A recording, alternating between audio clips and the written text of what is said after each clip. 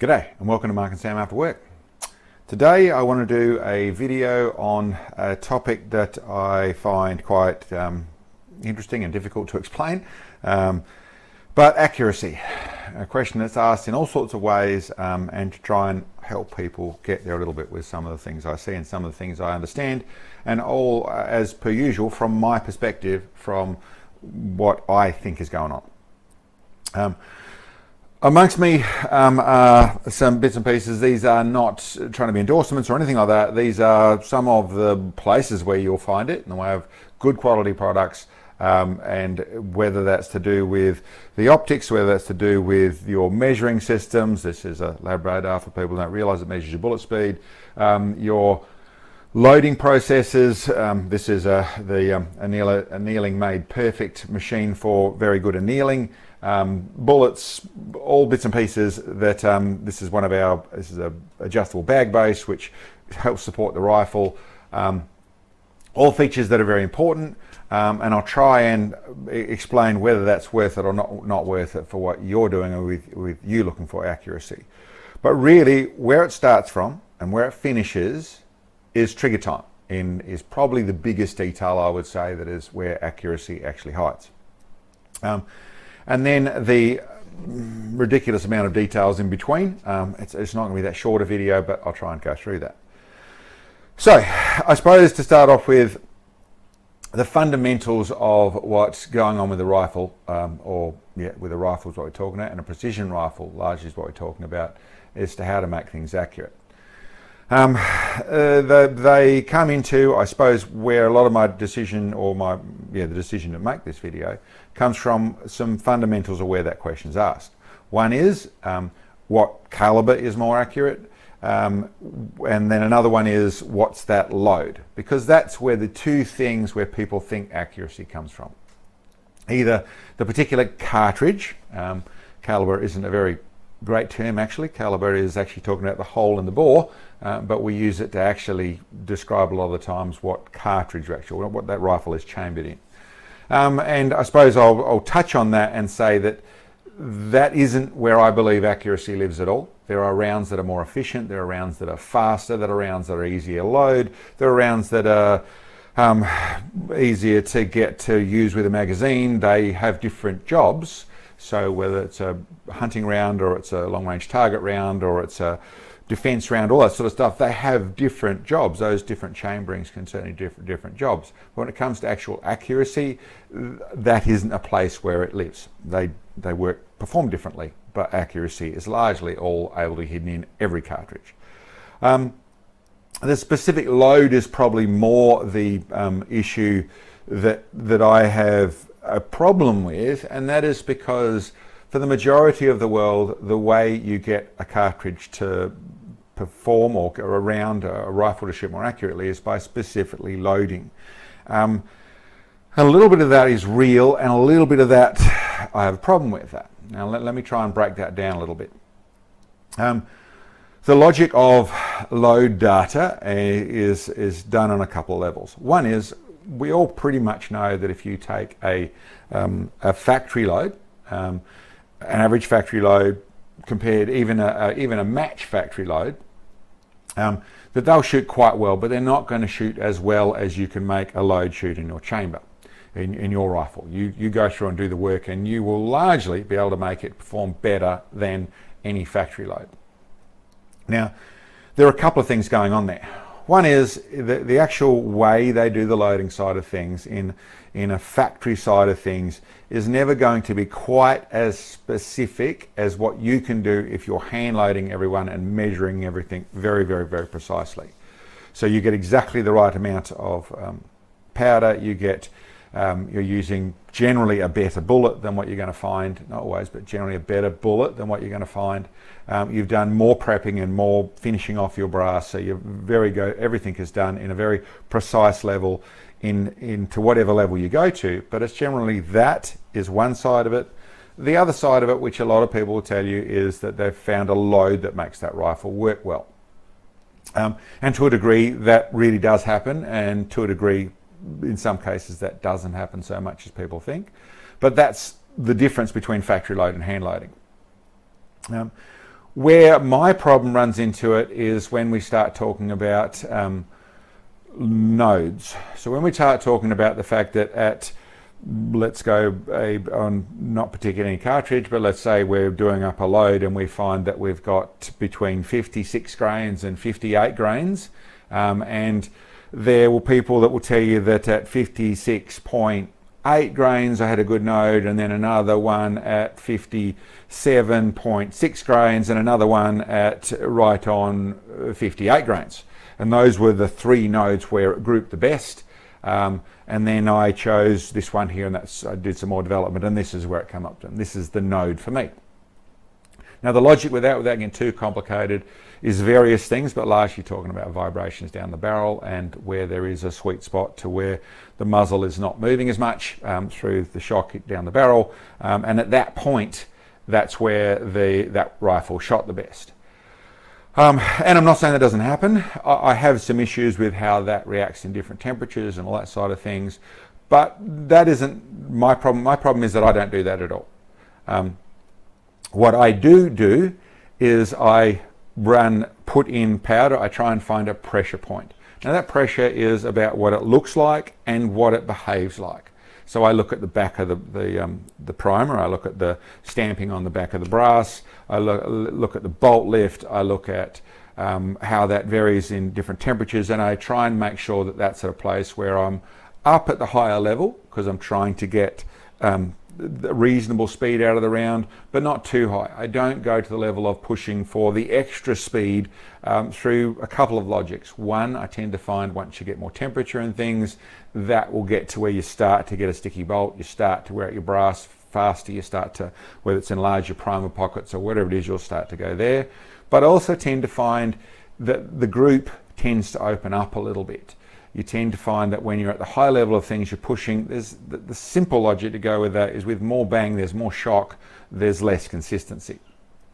Um, but equally, I'm not the type of person that goes down to the bottom, as some people will do. It shoots nicer at very low powder levels, um, which is obvious why it does. The, the, rifle is smoother, so it takes less setting up. Um, it's a little nicer to shoot down there, so some people do that. I would tend to say if you're down there, you're probably using the young, wrong cartridge and you should step back from, let's say, a 300 Win Mag to a 308 or a 65 Creedmoor or something and come back down where there's less bang and it, the bullet works nicer down there with using things to a reasonable percentage of what they're designed to be used.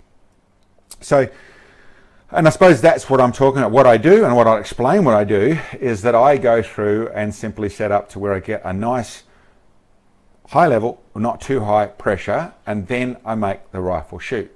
A comment that I'm sure annoys some people dramatically, um, but it's what I've always done. Um, and it works. You see what my rifles shoot like, you see what they group like. That is with that process.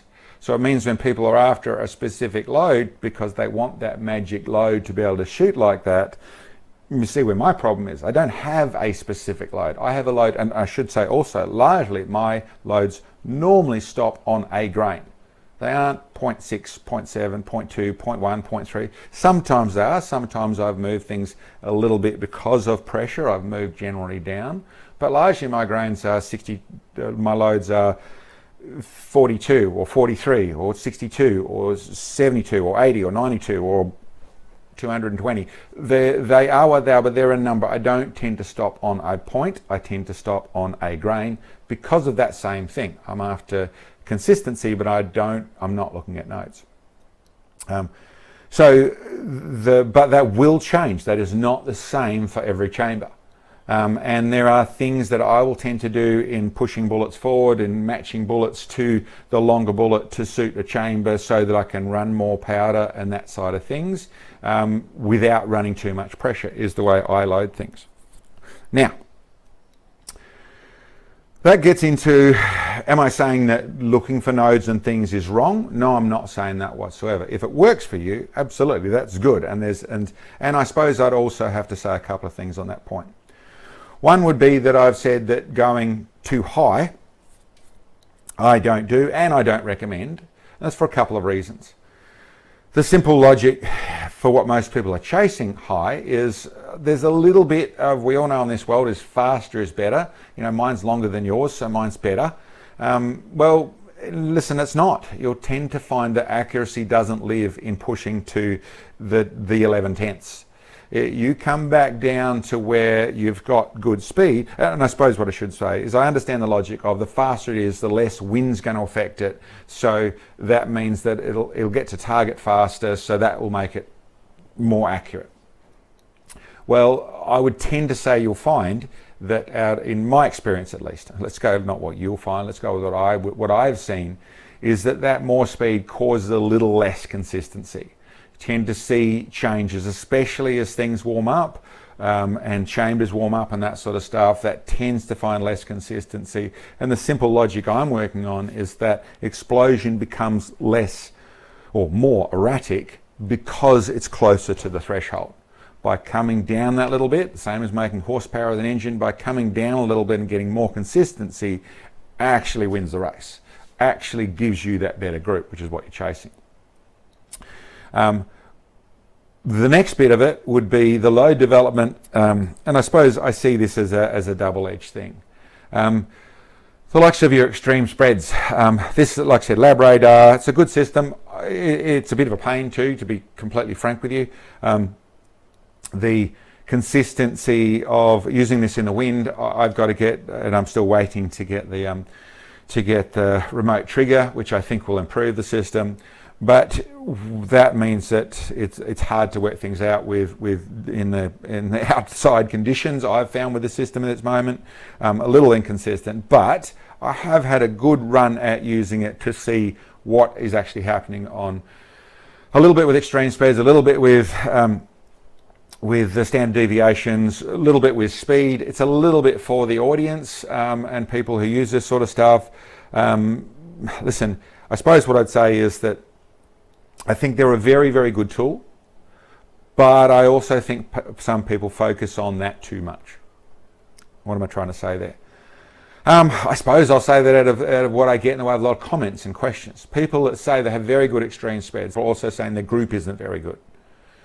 Now, what it tells me, and I suppose there's another place that I can go to, is that I know in speaking to gunsmiths, there's guys who are wearing rifles out during their load developing process.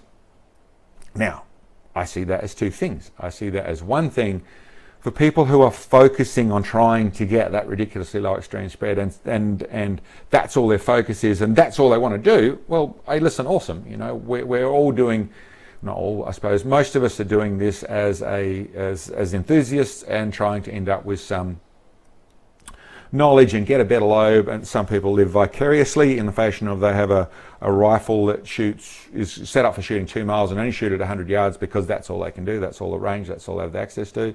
And listen, good on them. If that's what you like doing and you like doing that, then great. You know, wear barrels out doing that side of things, or just go and do like that. Um, for people who are frustrated by that and don't understand it, well, understand that you don't, uh, well, I suppose, I don't need to do that. I don't do that.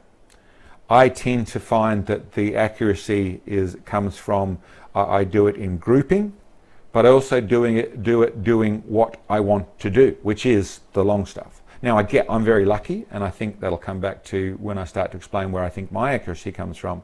But that is the fact I do get to shoot at the extreme long range, and that's where I try and make it work. I don't bother with the 100 yards. And to be truthful, I have done a little looking at this, but I don't use a the the, the speed or the ESs and SDs to get my accuracy. Um, I see some places where this would be verified and doing that some that situation. In other places where the the speed's moving around and the group isn't, and some places where the group's moving around and the speed isn't. Um, so there's more going on there. I, I, won't try and break that in too much. I want to do more understanding of before I get to that place. But I would say that the way the rifle shoots and the way I perform as a shooter is more relevant in, from what I've seen of my grouping and how my rifle shoots.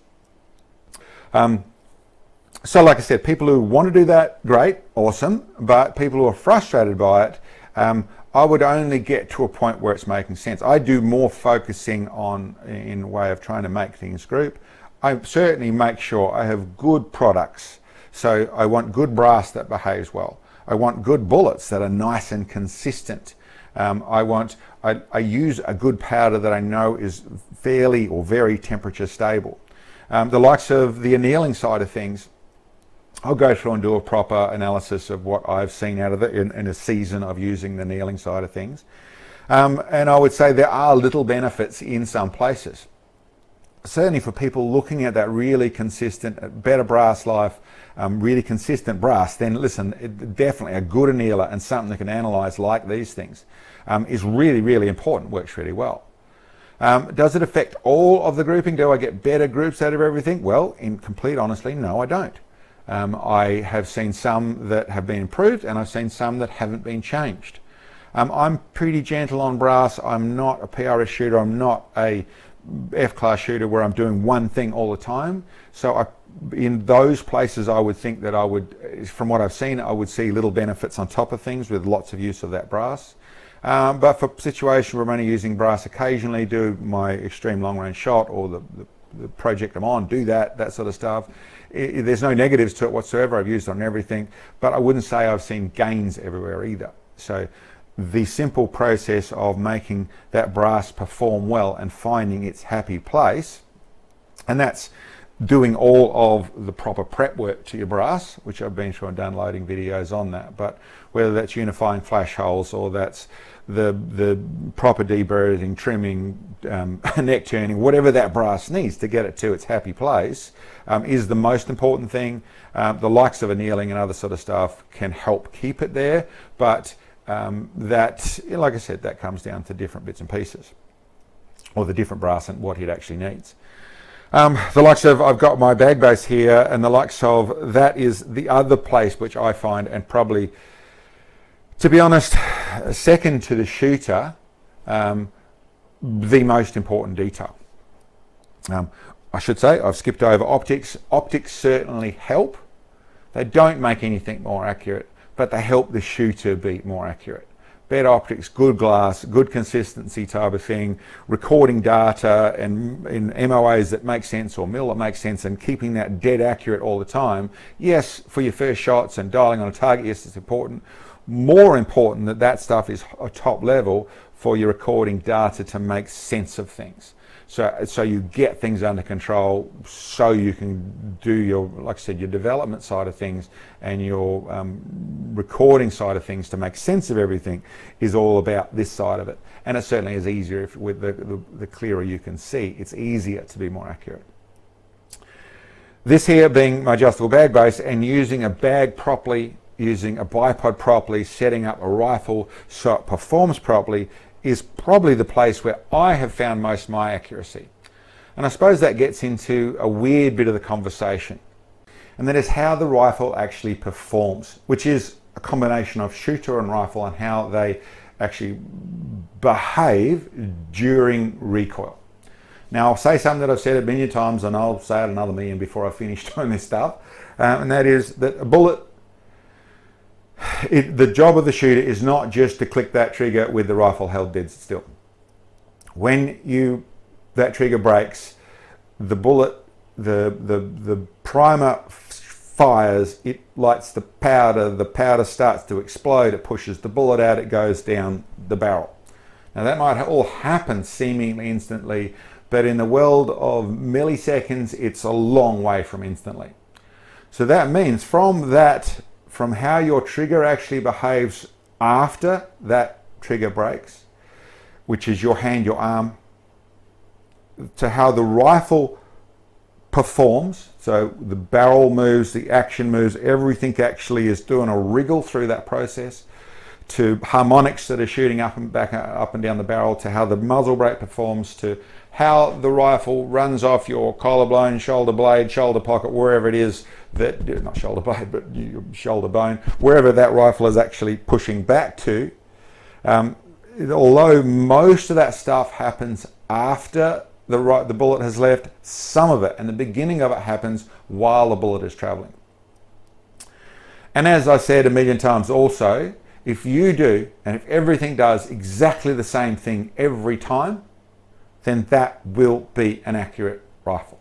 Now, given the fact that the crown's cut properly and given the fact that the, um, the bullet release is proper, if it happens the same, exactly the same every time, the bullet will go to exactly the same place every time. But because as things wriggle, they don't tend to wriggle exactly the same. And as we're humans and we're squishy and we move, even our collarbone is actually squishy when you hit it. Um, things move differently. So this comes back to my comment of trigger time. Now, trigger time doesn't just mean pulling the trigger, dry firing a trigger. It means actual time shooting. Um, and the more you are familiar with what you're doing, the more you're familiar with that platform or all platforms, the more you're familiar with that style of shooting, whatever it is, the more familiarity, the more muscle memory you have, the more understanding you have, the more your the better your rifle is set up, whether that's heavy barrels or that's heavy chassis or that's um, correct positioning of, of butt pad heights and of cheek rests and of scope heights and all those sort of things. The more that stuff gets into the into the right place, the better everything performs while that bullet's leaving, the more accuracy you'll find. But then there's a couple of things that get a little weird in that place in saying that okay, if I set up the rifle perfectly, then then it should just work. Like I said, trigger time, the human's very much involved. But I'll explain a couple of the weird bits to try and help make sense of that. I'm sure we all have friends or all have rifles or we've all seen this process where there are rifles that are bare, bare bone stock light sporters that still shoot lights out or, or hole in hole sort of grips. Um, heard the stories at least. and when you watch the rifle shoot, it bounces up off the bag or however it's shot. It moves erratically, but it keeps hitting exactly the same place. So that makes a complete and utter lie of the conversation about things shouldn't move and they should stay still, doesn't it? Well, no, it doesn't, because it falls back to the if it happens exactly the same every time, you'll get the same result.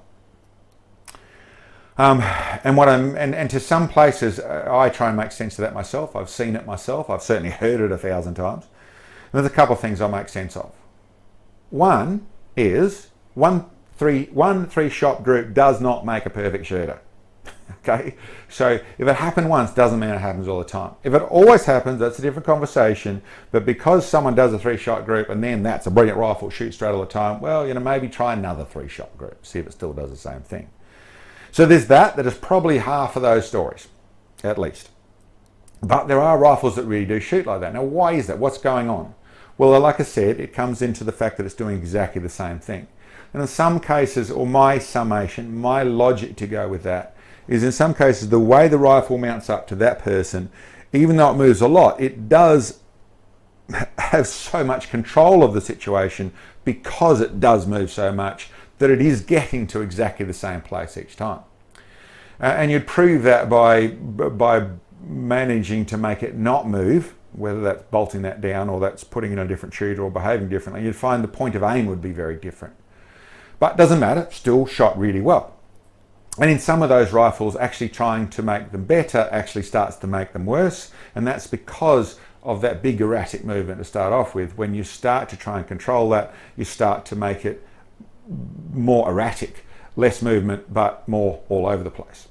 And listen, like I said, that bit gets conversa- uh, that conversation gets weird, uh, and I'll leave it at that place and go to the opposite side of things. Is that rifles that there's some rifles that seem to shoot so well. They've got everything. They've got the big target barrel, and they've got the super fast round and they've got all the weight in the world and they still you watch a group on them and they're only holding down an inch and a half group at 100 yards or an inch group at 100 yards and how can this rifle shoot like that how can that be possible it's got this really good extreme spread it's got this really good everything else but it's still shooting how's that possible well a couple of things to keep in mind there one is in in the simply the shooter is still a big part of it. Unless if the shooter is engaging differently each time, that can change things.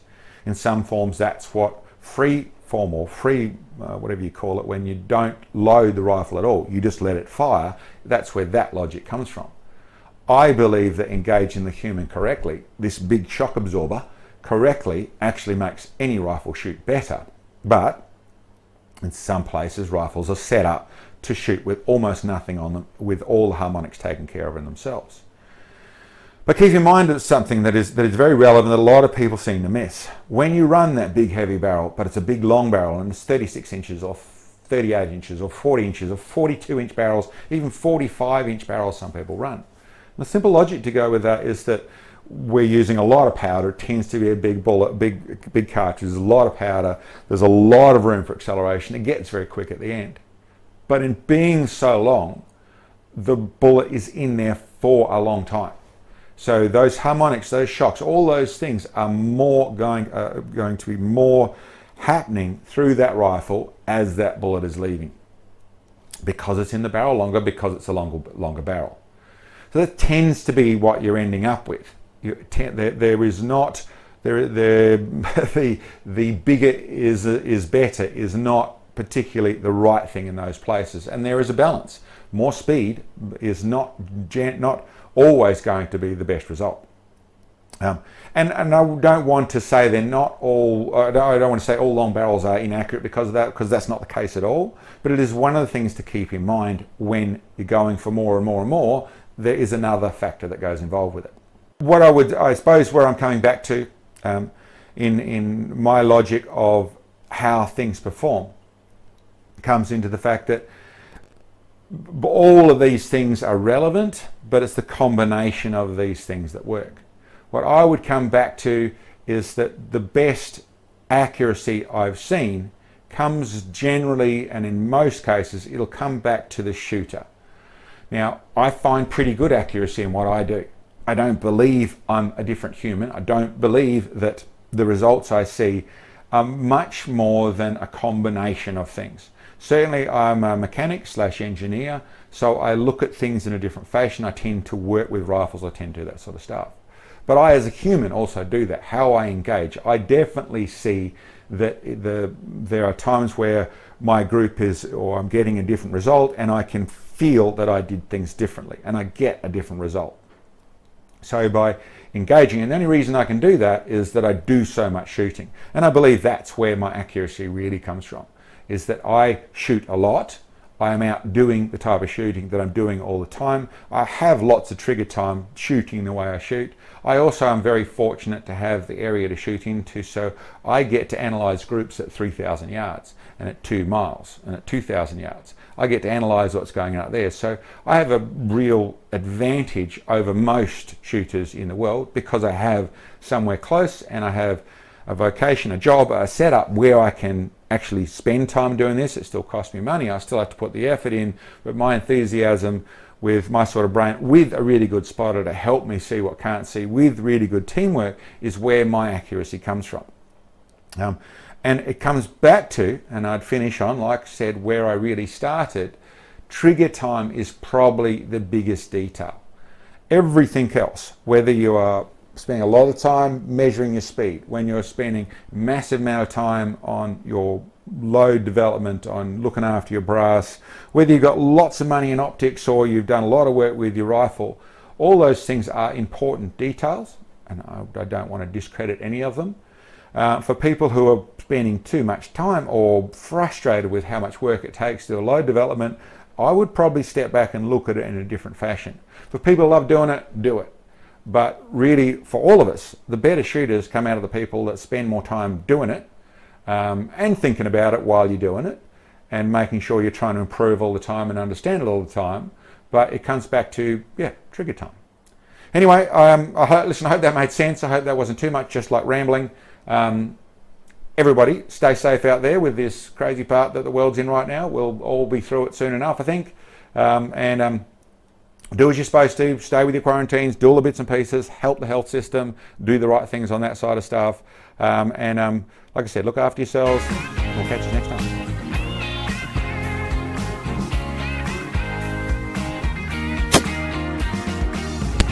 Got it! Got the coach in. Awesome shot. Hit the game.